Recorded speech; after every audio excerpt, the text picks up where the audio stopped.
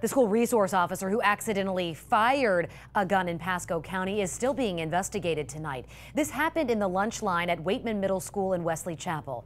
10 News reporter Madison Allworth went to Bill Jackson's gun shop for adventure to find out how a gun holstered could accidentally go off right near students.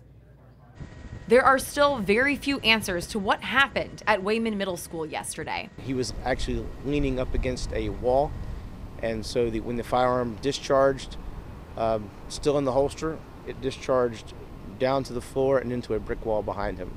How the gun, a Sig Sauer P320 9mm, fired is the big question. Experts will be used to examine the gun and holster. Part of this investigation is going to be breaking down the gun and looking for possible wear and tear, what could have gone wrong. So we have one here. What would you do as you start to break down this gun? That's it. That's it. The basic thing you're looking for is wear along the rails, uh, wear in the gun if the gun's tight.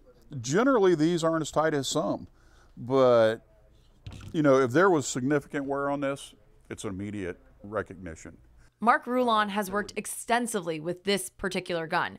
All officers with the Pasco County Sheriff's Office are outfitted with this gun and the same holster.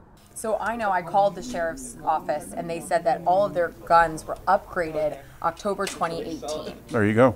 So this gun that was in the office that the officer had was from October 2018. So it's a near new firearm. Uh, the wear is going to be insignificant. This firearm should last with minimal use 20 years. But it's not just the gun. Investigators will also look into the holster and check to see if there were any manufacturer issues.